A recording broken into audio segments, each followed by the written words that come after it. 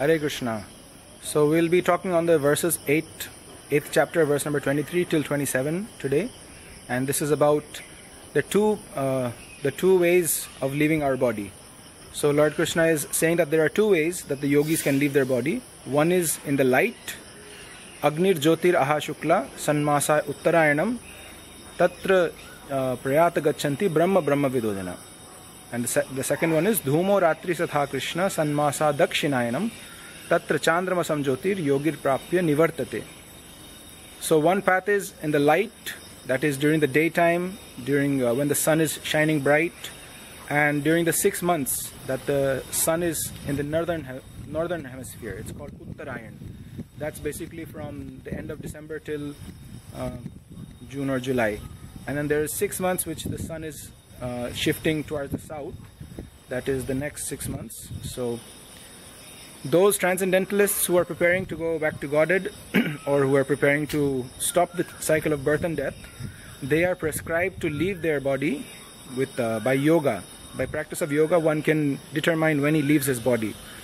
So if a yogi is that perfect, then Lord Krishna is saying that the six months of the Uttarayan, which the sun is traveling to in the north, that is the preferred time for a yogi to leave his body.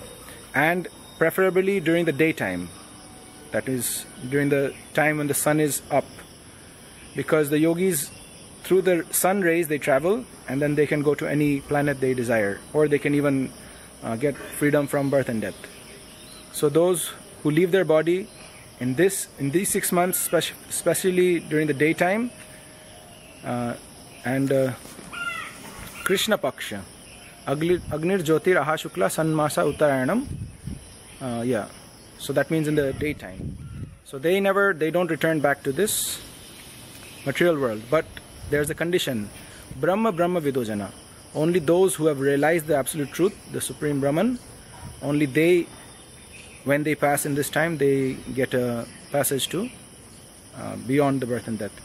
And the yogis who fail to do so or who pass in the six months when the sun is in the south hemisphere or who pass away during the night time so they get the moon planet, they get to enjoy the heavenly planets, the moon, but they have to ultimately return back to this earthly planet and again try for perfection. And it's very interesting that the next verse, that is the 26th verse, Lord Krishna, 26th or maybe the 27th verse, Lord Krishna is saying that uh, Naiti Shriti Partha Janan Yogi Muhyati Kaschana. That the yogis, even though they know both of these paths, that they are not bewildered by it.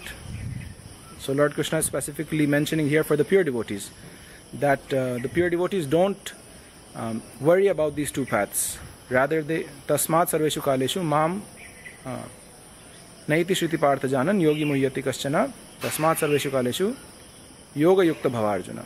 So always be uh, engaged in yoga, that is meditation upon me. Always think of me, and don't worry whether you go in the six months of the northern hemisphere or the southern hemisphere.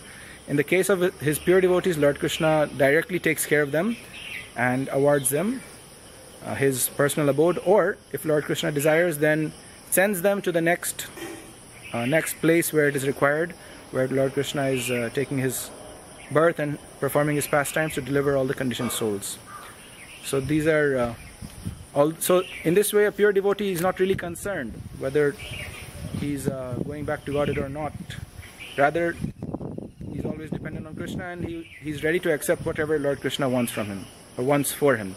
If Lord Krishna wants to transfer him to the spiritual world and accept service from him there, he's happy. And if Lord Krishna wants him to go and help in the preaching mission in another planet, in another universe, so be it, he's happy. But he, he simply wants to serve Krishna, and that's his happiness. He finds happiness in serving Lord Krishna. Hare Krishna.